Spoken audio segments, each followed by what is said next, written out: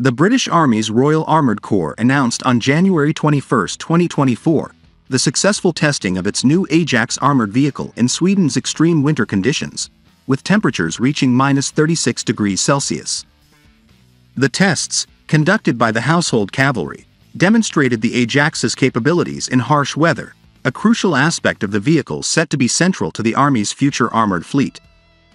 This exercise was not just a demonstration of the vehicle's endurance in extreme cold but also highlighted its advanced capabilities in intelligence, surveillance, target acquisition, and reconnaissance, ISTAR, under challenging conditions. Featuring six distinct variants based on a common platform, the Ajax family is designed to enhance the British Army's operational effectiveness.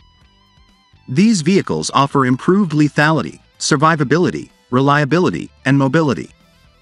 They are equipped with sophisticated sensors enabling all-weather, round-the-clock operations. A notable feature of the Ajax program is the inclusion of the first British vehicle equipped with the case telescoped 40mm cannon, Connecticut 40, cannon.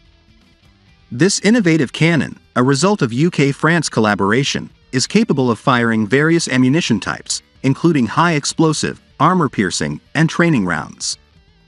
The non-turreted versions of the Ajax are equipped with a versatile remote weapon station, RWS, capable of mounting different calibers of machine guns and grenade launchers.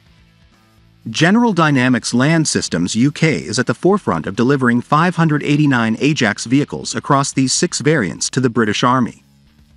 The initial delivery commenced in February 2019, with the full fleet expected to be operational by 2025.